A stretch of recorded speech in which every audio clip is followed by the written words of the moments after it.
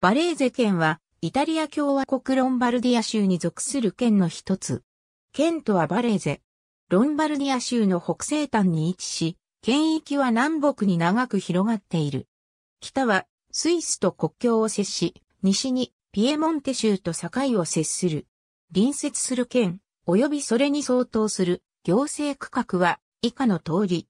CH はスイス領、CHTI はティチーノ州所属。バレーゼ県概略図2001年の国勢調査に基づく居住地区別人口統計によれば、人口1万5千人以上の都市は以下の通り。バレーゼ県は1927年1月2日に、これまでコモ県とミラノ県に属していたコムーネの一部を統合して創設された。バレーゼ県には2021年1月1日現在、138のコムーネが属する。主要なコムーネは、下表の通り。左端の数字は ISTAT コードを示す。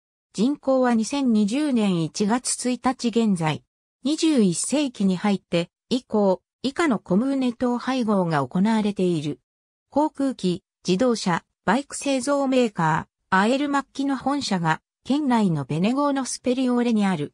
県には世界遺産として以下がある。県内に本拠を置くプロサッカークラブとしては以下がある。所属リーグは2012から13シーズン現在。ありがとうございます。